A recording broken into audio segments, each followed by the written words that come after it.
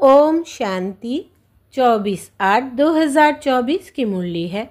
मुख्य रूप से बाबा ने कहा, सदा हल्का रहने के लिए इस जन्म में जो जो पाप हुए हैं, वो सब अविनाशी सर्जन के आगे रखो। बाकी जन्म जन्मांतर के पाप जो सिर पर है, उसके लिए याद की यात्रा में रहो। याद से ही पाप कटेंगे, फिर खुशी रहेगी। बाप की याद से आत्मा सतो प्रधान बन जाएगी। फिर कहा, ड्रामा के आदि मध्य अंत को अच्छी तरह समझ। स्मृति में रख। दूसरों को भी स्मृति दिलानी है। ज्ञान अंजन देकर, अज्ञान अंधेरे को दूर करना है। ब्रह्मा बाप समान कुर्बान जाने में पूरा फॉलो करना है। शरीर सहित सब खलास हो जाना है। इसलिए इससे पहले ही जीते जी मरना है। बाकी अंत समय में कुछ भी याद ना आए। अब सुनते हैं महावाक्यों को विस्तार से। बाबा ने कहा, मीठे बच्चे, बाप ने तुम्हें संगम पर जो स्मृतियाँ दिलाई है, उसका सिमरन करो तो सदा हर्षित रहेंगे। प्रश्न है, सदा हल्के रहने की युक्ति क्या है? किस साधन को अपनाओ तो खुशी में रह सकेंगे। उत्तर, सदा हल्का रहने के लिए इस जन्म में जो जो पाप हुए हैं, वो सब अविनाशी सर्जन के आगे रखो।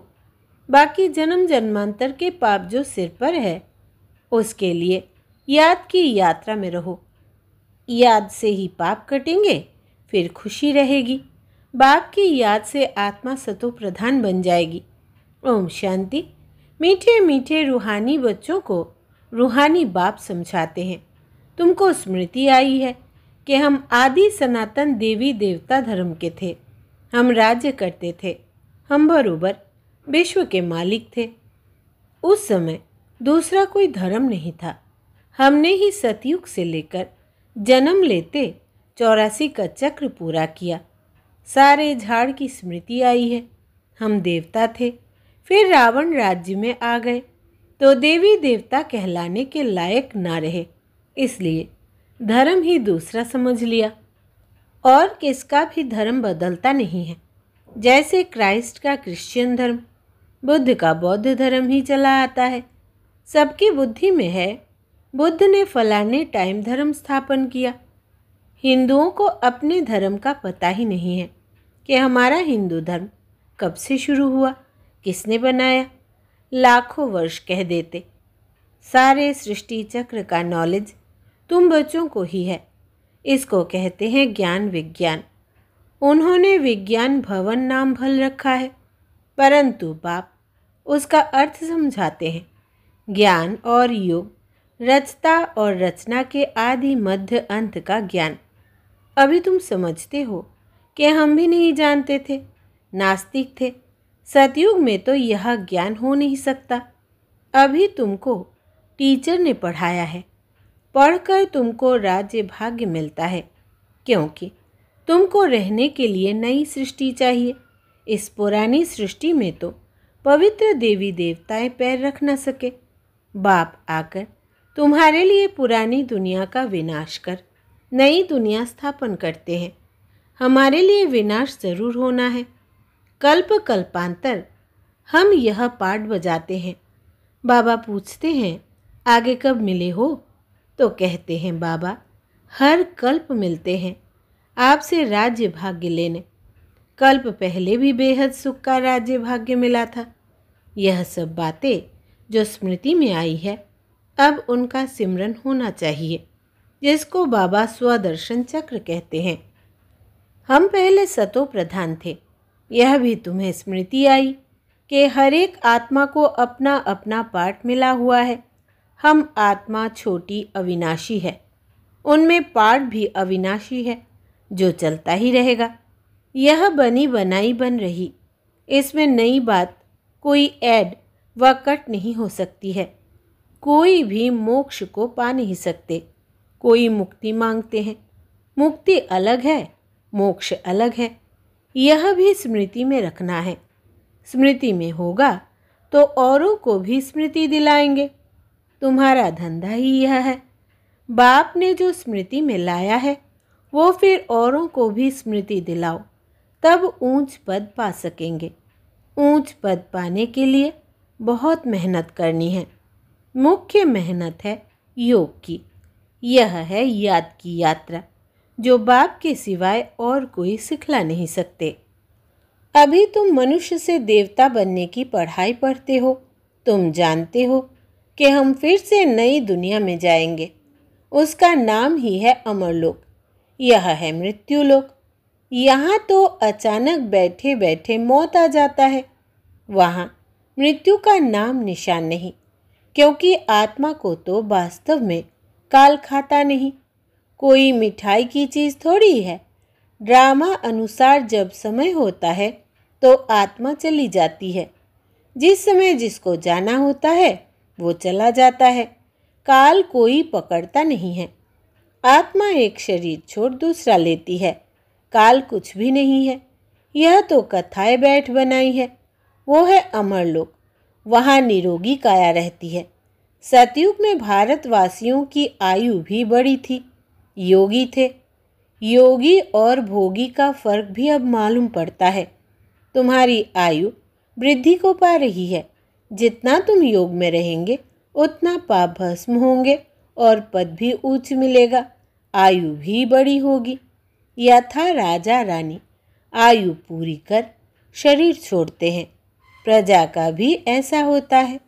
परंतु पद का फ़र्क है। अब बाप तुमको कहते हैं, स्वदर्शन चक्रधारी बच्चों, यह अलंकार तुम्हारे हैं। गृहस्थ व्यवहार में रहते, कमल फूल समान तुम रहते हो, सिवाय तुम्हारे और कोई रह न सके। यह भी स्मृति आई है कि इस जन्म में हमने कितने पाप किए हैं। इसलिए बाबा कहते हैं, वो सब अविनाशी सर्जन के आगे रखो तो हल्के हो जाएँगे। बाकी जन्म जन्मांतर के पाप जो सिर पर है, उसके लिए योग में रहना है। योग से ही पाप कटेंगे और खुशी भी रहेगी। बाप की याद से सतो प्रधान बन जाएँगे। मालूम है कि हम याद से यह बनेंगे तो कौन याद नहीं करेगा। परंतु यह युद्ध का मैदान है। मेहनत करनी पड़ती है।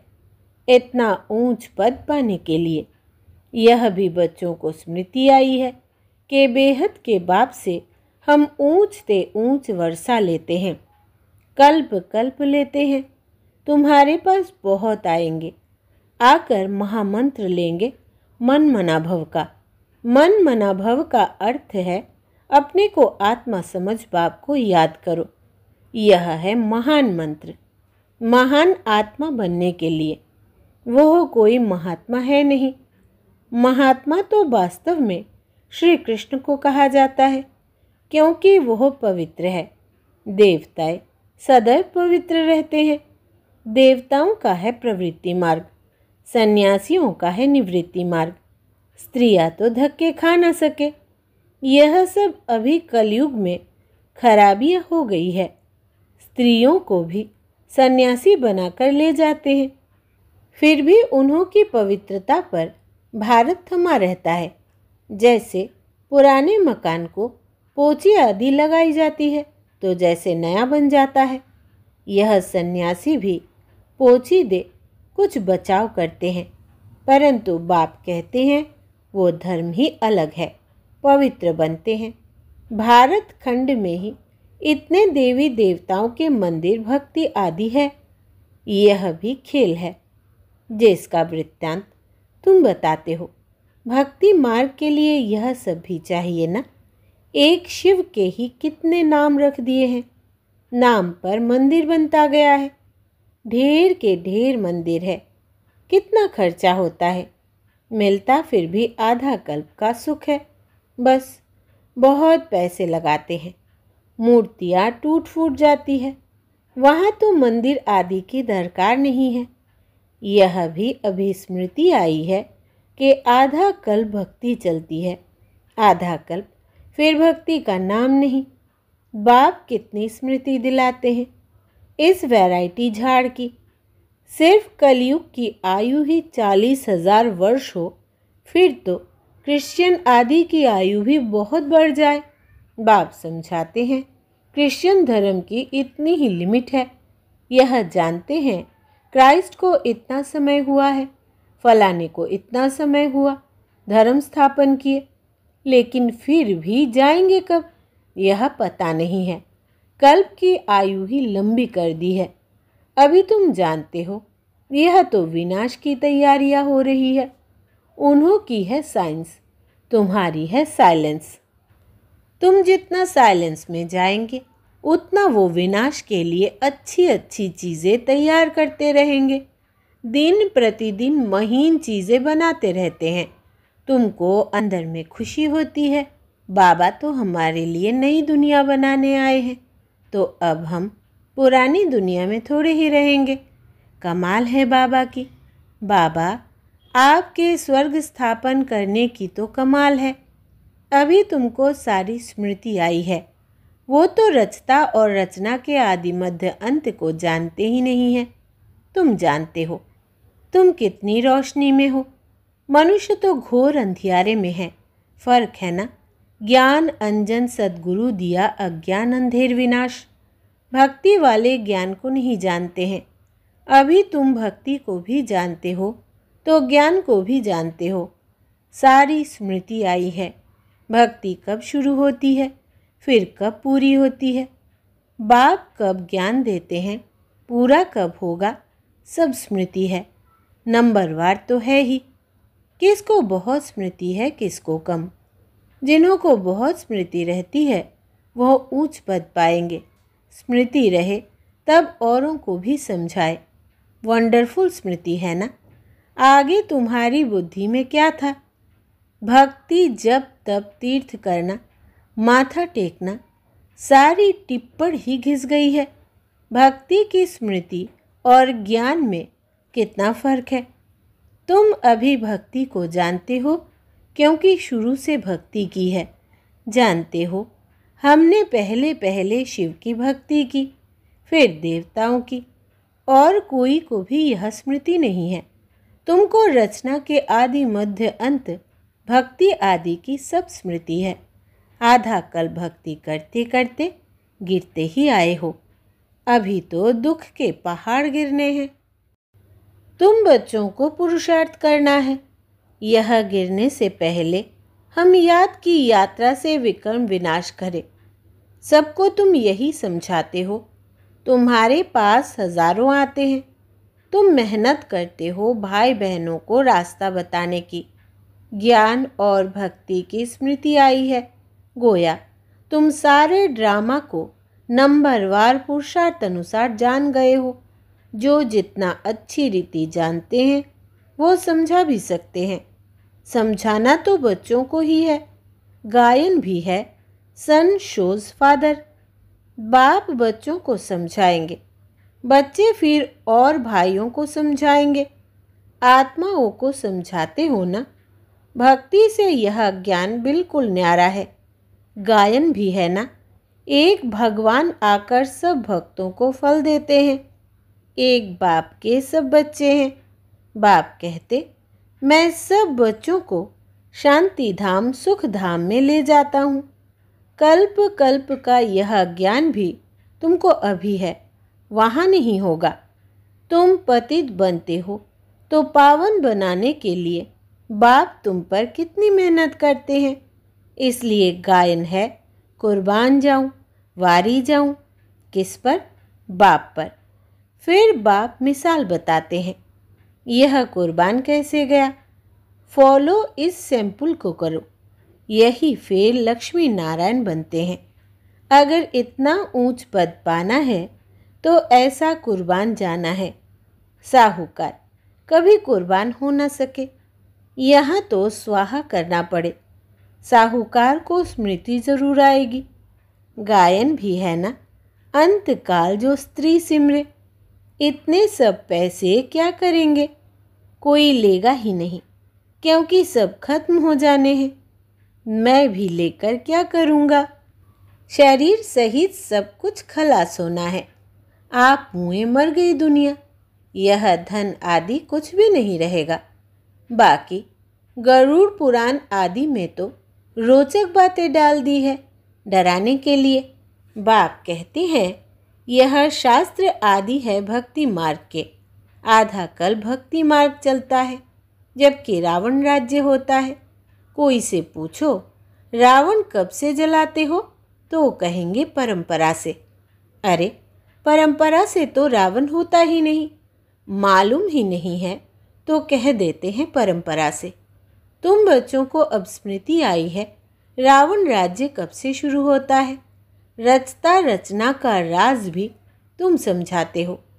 अब आप कहते हैं, बच्चे माँ में कमी याद करो तो पाप कटे।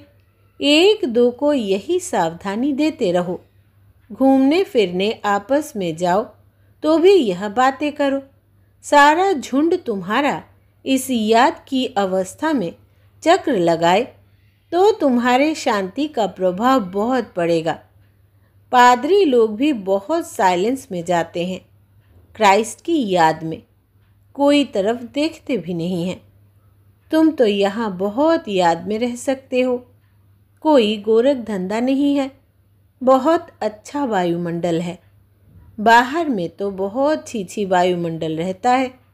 इसलिए सन्यासियों के आश्रम भी बहुत दूर दूर होते हैं। तुम्हारा तो है ही, बेहद का संन्यास। पुरानी दुनिया अब गई की गई, यह कब्रिस्तान है, फिर परिस्तान होना है। वहाँ हीरे जवाहरतों के महल बनेंगे। यह लक्ष्मी नारायण, परिस्तान के मालिक थे ना, अब नहीं है। बाप कहते हैं, मैं कल्प कल्प कल्प के संगम युगे आता हूँ। यह सारा चक्र रिपीट होता ही रहता है। इस समय तुमको सब स्मृति आई है, जबकि बाप ने स्मृति दिलाई है। आगे कुछ भी बुद्धि में नहीं था। इस स्मृति के नशे में जब रहेंगे तो किसको उस खुशी से समझा भी सकेंगे? स्मृति में रहते तुम्हें घर बार संभालना है। अच्छा सदा स्मृति के नशे में रहने वाले मीठे मीठे रूहानी बच्चों प्रति मात पिता बाप दादा का याद प्यार और गुड मॉर्निंग। रूहानी बाप की रूहानी बच्चों को नमस्ते। हम रूहानी बच्चों की रूहानी बाप दादा को याद प्यार, गुड मॉर्निंग और नमस्ते बाबा, नमस्ते। धारणा के लिए मुख्य सार पहला, ड्रामा के आदि मध्य अंत को अच्छी तरह समझ, स्मृति में रख, दूसरों को भी स्मृति दिलानी है। ज्ञान अंजन देकर, अज्ञान अंधेरे को दूर करना है। दूसरा, ब्रह्मा बाप समान कुर्बान जाने में पूरा फॉलो करना है। शरीर सहित सब खलास हो जाना है, इसलिए इससे पहले ही जीते जी मरना है। बाकी, अंत समय में कुछ भी याद न आए। वरदान, विशेषता के संस्कारों को नेचुरल नेचर बनाए, साधारणता को समाप्त करने वाले मर्जीवा भव विस्तार है। जो नेचर होती है, वो स्वतः अपना काम करती है। सोचना, बनाना, यह करना नहीं पड़ता है, लेकिन स्वतः हो जाता है। ऐसे मर्जीवा जन्मधारी ब्राह्मणों की नेचर ही है विशेष आत्मा के विशेषता की। यह विशेषता के संस्कार नेचुरल नेचर बन जाए और हर एक के दिल से निकले कि मेरी यह नेचर है। साधारणता पास्ट की नेचर है, अभी की नहीं, क्योंकि नया जन्म ले लिया तो नए जन्म की नेचर विशेषता है साधारणता नहीं। स्लोगन है रॉयल वो है जो सदा ज्ञान रत्नों से खेलते पत्थरों से नहीं। रॉयल वो है जो सदा ज्ञान रत्नों से खेलते पत्थरों से नहीं। अच्छा ओम शांति।